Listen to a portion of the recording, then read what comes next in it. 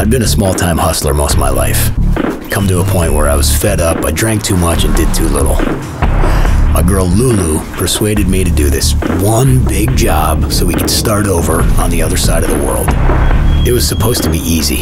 Find Chris, who cheated the Serbians, get rid of him, and just cash out. But not everything went according to plan.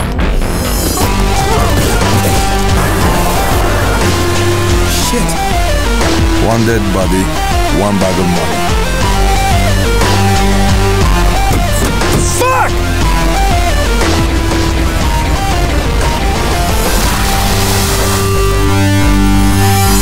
All right, it's official.